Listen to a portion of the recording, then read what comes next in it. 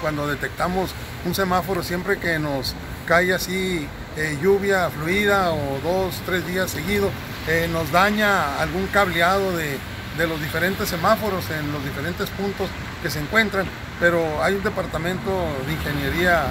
y eléctricos que luego luego nos atienden y pues mientras llegan a reparación de, de un daño, un cable eh,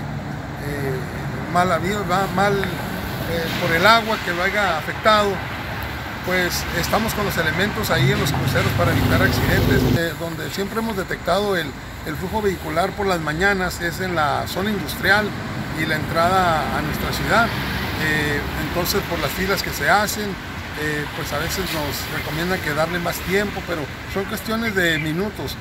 Los semáforos ya están programados, pero pues sí aceptamos que hay bastantes vehículos y sigue creciendo la flota vehicular. ¿Cuál es la